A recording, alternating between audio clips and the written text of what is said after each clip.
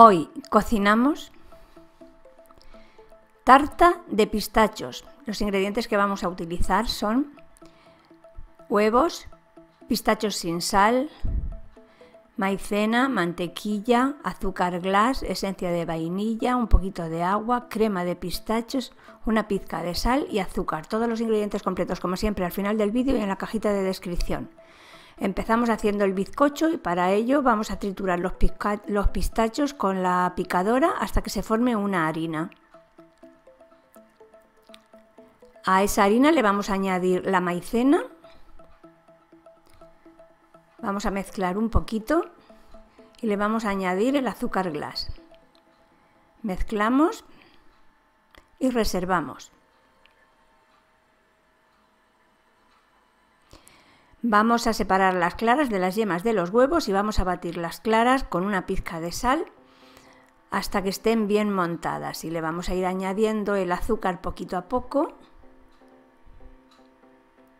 mientras batimos hasta formar un merengue espeso y consistente.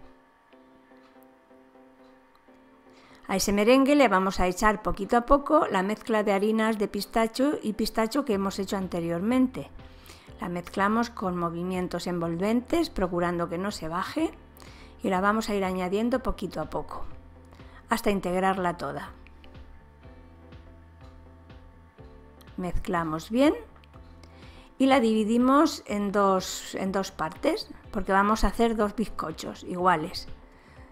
La dividimos en dos moldes Alisamos bien y la vamos a hornear con el horno precalentado a 180 grados centígrados con calor arriba y abajo y sin aire unos 15 minutos.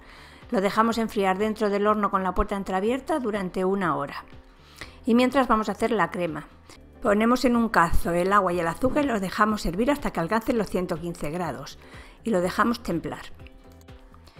Vamos a batir las yemas hasta que blanqueen y doblen su volumen y le vamos a ir añadiendo el almíbar templado poquito a poco mientras vamos batiendo, hasta incorporarlo todo. Una vez lo hayamos incorporado todo, vamos a seguir batiendo hasta que esté completamente frío. Y cuando ya esté completamente frío, vamos a ir añadiendo la mantequilla poco a poco y vamos a seguir batiendo hasta incorporarla toda. Le añadimos también la esencia de vainilla y la crema de pistachos. Seguimos batiendo hasta que esté todo bien ligado y lo vamos a poner en una manga pastelera con boquilla redonda. Y ahora vamos a montar la tarta. Ponemos uno de los bizcochos ya frío en, un, plato y le vamos a ir poniendo la crema de pistachos por encima hasta cubrirla toda.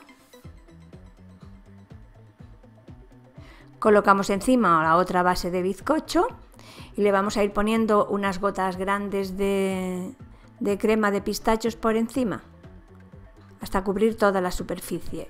Lo espolvoreamos con, con pistachos troceados, la dejamos enfriar un poquito y la servimos. Y es una tarta que está deliciosa. Si os ha gustado el vídeo os invito a darle a me gusta y a suscribiros a mi canal y os espero en la próxima receta.